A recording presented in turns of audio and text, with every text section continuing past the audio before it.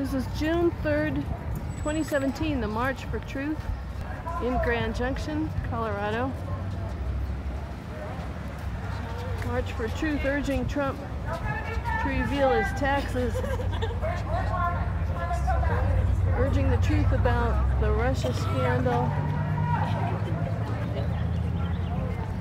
Long line of people stretching right now from City Hall to around down Avenue and down to Main Street.